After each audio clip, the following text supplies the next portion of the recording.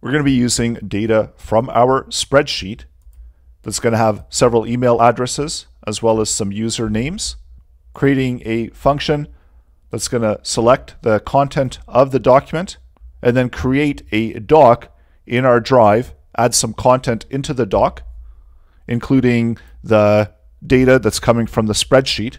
Also get the URL of the newly created doc, add that into the doc as well, where we're appending the paragraph, and then lastly send an email to the user that's listed within the spreadsheet, linking out to the document.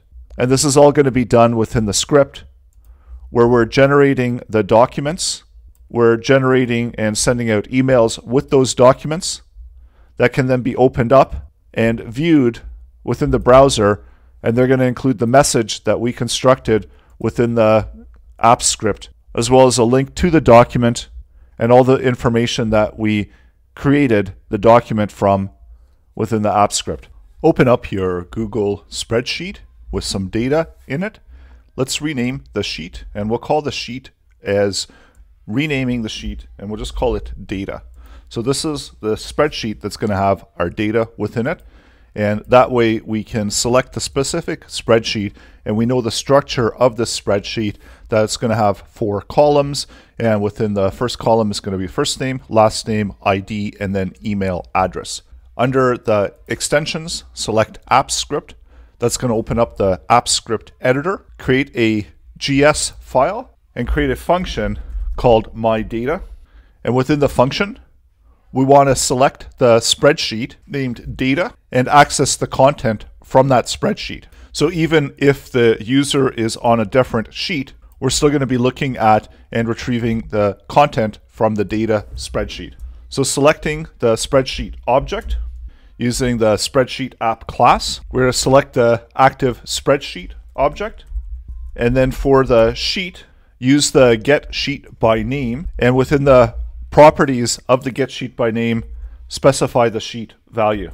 In the log, let's log out the sheet object. And just to make sure that we're getting the correct sheet, and that way we're ready to get the data from that sheet. Can run the code. You should see within the log that we've got the sheet object. Now let's select the content that we want to use from the spreadsheet. And let's get all of the rows of data. Select the sheet object, then get the data range, which is going to select all of the available content from the spreadsheet, and chain together the get values, which will return back all of the rows of content. Specify within the log the rows that we want to use. Run the code and you should retrieve back the data that you currently have within the spreadsheet. We want to separate out the data from all of the rows, where we can use the rows and the slice method, selecting out all of the content after the first row, so not including the first row. So the first row is going to be where we're going to have the headings. So run the code again, and that's going to retrieve back all of the content. Now that we are selecting the sheet by its name, it actually doesn't matter which sheet the user is on, and it's not going to throw any errors. The function will always run the same way because we're selecting the sheet by its name of the data name. We're going to use the data that's contained within the spreadsheet and we'll create some documents from it. So creating a function, and I'll just call it maker doc. And within the maker doc, we'll pass in the data that we want to use in order to make the document. I'll give it a name of data. And within the logger log, first we'll output the data that was passed in. And this way, what we'll do is as we loop through the data within the my data function, we can use for each. And this will return back each row of data that we have.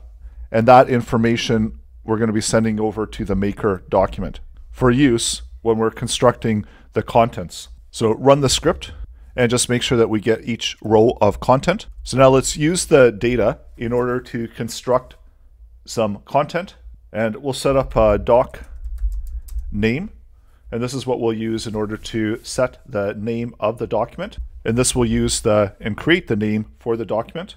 So using the data with the index value of zero and using the index value for data of 1 is going to return back the person's name the full name that we can use then for the document name.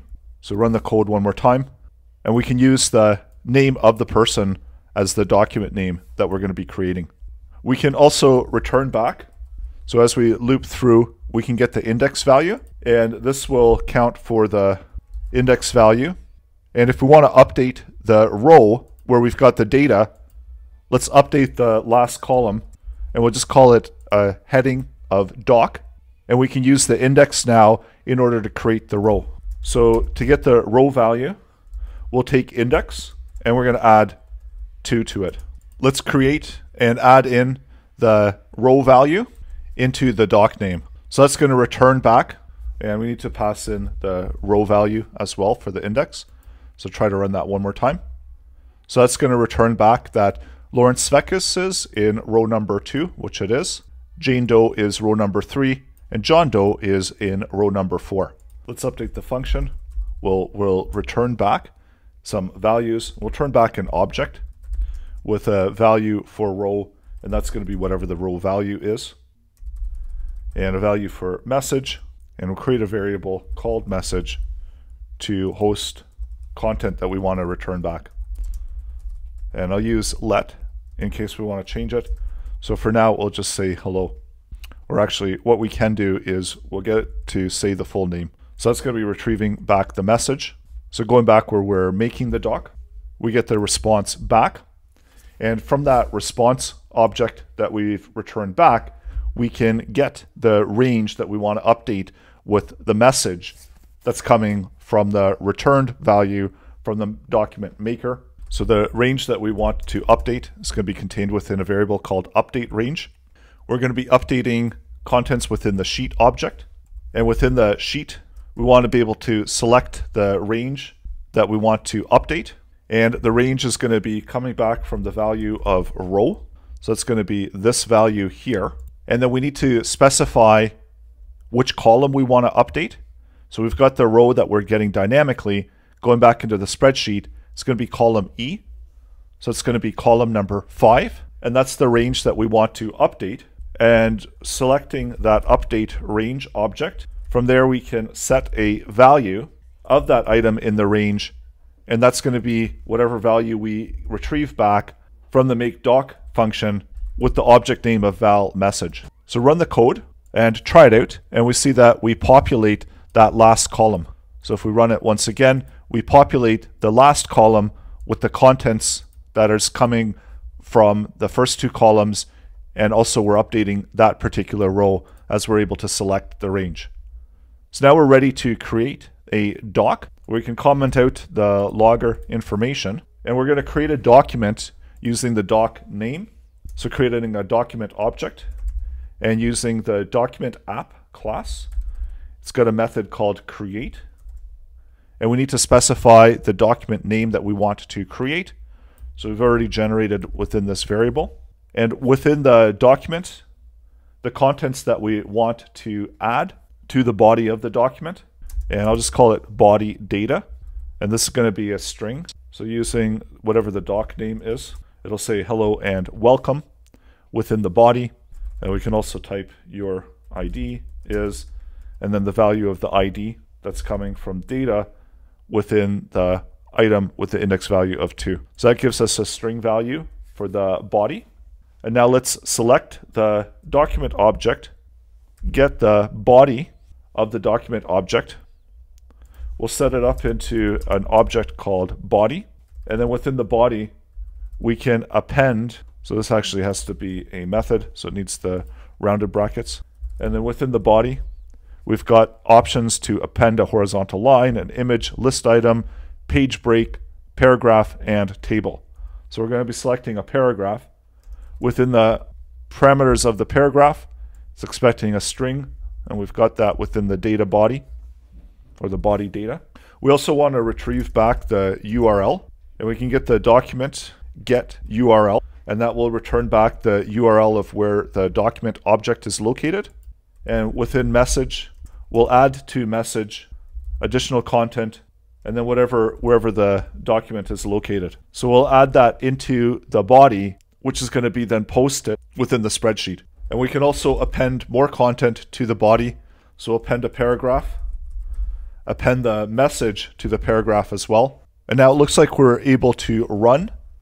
And by default, it's going to be adding this document to the root within the drive.